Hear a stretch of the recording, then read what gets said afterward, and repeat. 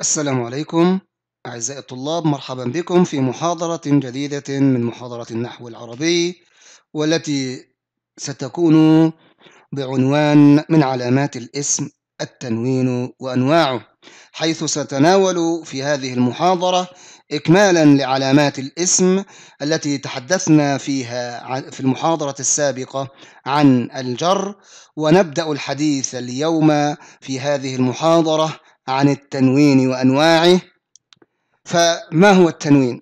هذه العلامة لا يقبلها وهو التنوين إلا الأسماء التنوين لا يدخل إلا على الأسماء فما تعريفه؟ التنوين هو نون ساكنة زائدة ليست من أصل الكلمة تلحق أواخر الأسماء نطقا لا خطا نون ساكنة زائدة تلحق آخر الأسماء لفظا لا خطا.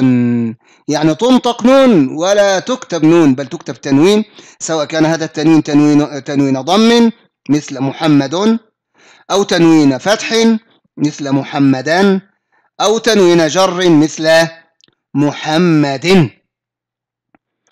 وللتنوين أنواع نذكرها فأنواع التنوين أربعة.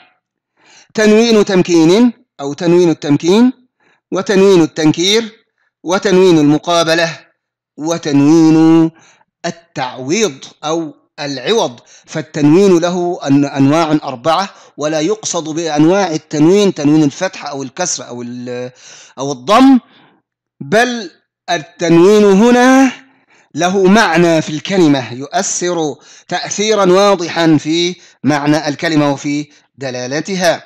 وهو أربعة كما ذكرنا. نبدأ بالنوع الأول وهو تنوين التمكين. ما المقصود بتنوين التمكين؟ هو الذي يلحق هذا التنوين وهو من علامات الأسماء. هو الذي يلحق الأسماء المعربة فقط وليس المبنية.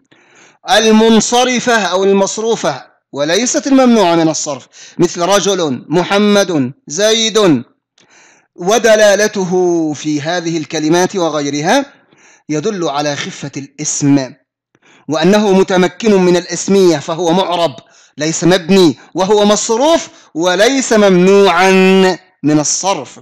فيدل على خفة الكلمة وعلى تمكنها في باب الاسمية فالكلمة أو الاسم لم تشبه الحروف فتكون مبنية ولم تشبه الأفعال فتكون ممنوعة من الصرف. فهذا التنوين إذا وجدته في كلمة مثل رجل رجل أو رجلا أو رجل يدل على أن هذا الاسم لا ليس آه، مبنيا وليس ممنوعا من الصرف. أما النوع الثاني من أنواع التنوين وهو تنوين التنكير.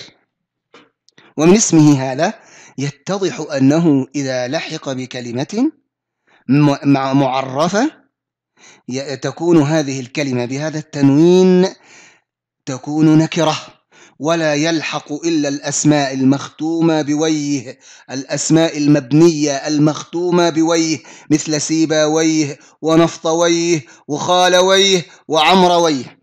هذه الأسماء مثلا سيباويه بلا تنوين يدل على عالم النحو الأشهر والأكبر. فعندما يكون مبنيا على الكسر بلا تنوين علم على سيبويه صاحب الكتاب صاحب الكتاب المشهور في النحو. أما إذا نونته وقلت مررت بسيبويه بالتنوين فإنك تقصد به رجلا نكرة غير معروف. ليس العالم الأشهر من علماء من من من أشهر علماء النحو وهو سيبويه فهذا التنوين يلحق فقط الأسماء المبنية المركبة المختومة بلفظ ويه مثل سيبويه ويدل في هذه الحالة على أن الاسم هنا نكرة وليس معرفة فعندما تقول قرأت كتاب سيباويه فهو سيباويه المعروف ورأيت سيباويه في الشارع فهذا رجل آخر نكرة غير معروف وغير مشهور مثل سيباويه ونكمل إن شاء الله تعالى أنواع التنوين في محاضرة قادمة إن شاء الله تعالى.